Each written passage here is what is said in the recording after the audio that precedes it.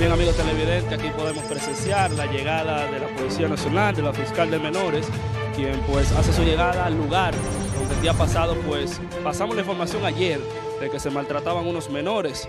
Aquí nosotros nos encontramos en el lugar preciso, vemos la llegada de la maestrada Rocío, quien pues llega al lugar para inspeccionar el área y confirmar lo que ya pues era una realidad, hacer el levantamiento del lugar. Debo decirle que tiene derecho a un abogado, ya que a partir de este momento queda en calidad de detenida y me llevo a los niños conmigo. Una pregunta, ¿dónde está el padre de los niños? Ella no comprende.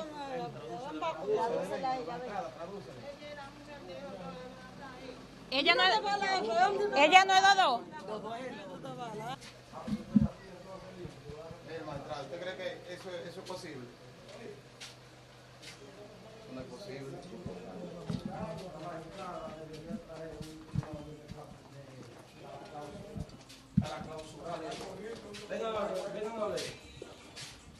Miren los niños como, andan aquí, miren, eso es agua. El agua con la corriente se duplica, la cual puede electrocutar a un niño de eso rápido. Miren, aquí era donde ellos estaban sentados y miren la, la situación. Y miren la, la situación. Es por eso que va el, el, el arresto. ¿Y qué tú haces para acá, Benditas, para que ella nos diga qué procede a hacer en este Bueno, los niños los vamos a poner bajo la protección de Conani hasta ver si aparece el familiar, un padre o un familiar de los niños y la señora queda bajo arresto para solicitarle medida de coerción. Se va a examinar si estaban siendo eh, Sí. víctimas de violencia y todo eso. Sí, lo vamos a llevar al, al médico legista, los dos niños, para ver si son víctimas de violencia y poder hacer un expediente eh, con sustento para solicitarle la medida de coerción. Mucha incomodidad magistrada había generado la población porque dicen que si no hay querellante la fiscalía no puede actuar. No, la, la, po- la, la, la fiscalía actúa. O sea, eso es de orden público, cualquiera. El problema es que muchas veces las personas eh, suben la noticia a las redes y no van al lugar adecuado.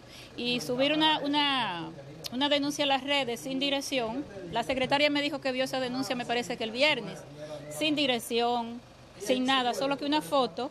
Entonces eso hay que ser responsable, ir a la fiscalía, sean eh, ustedes los como medio de comunicación, los vecinos van a la fiscalía, como fue una persona hoy en la mañana. O sea, esta denuncia la recibimos hoy en la mañana y ya le estamos dando respuesta, pero tienen que decirnos dónde es porque no, no somos eh, magos para nosotros eh, saber dónde suceden los hechos. Tal y como hizo este vecino que fue responsablemente y denunció, me dijo, mire, en la calle tal, en tal lugar. Entonces de una vez nosotros procedemos, pero para una denuncia de maltrato infantil no tiene que haber un denunciante. Eso es de orden público. Muchísimas gracias. Ahí está, dispuesta a traducir. Sí, pero él no quiere Pero no salir en quiere la cámara. No, no, no le, no le Él no quiere salir en la cámara porque... Bien, aquí pues seguimos observando la conversación que se sostuvo con la, la señora de nacionalidad haitiana, nacionalidad haitiana, donde ella alega de que ella no maltrata a los niños, sino que los vecinos por envidia pues le han hecho esta denuncia.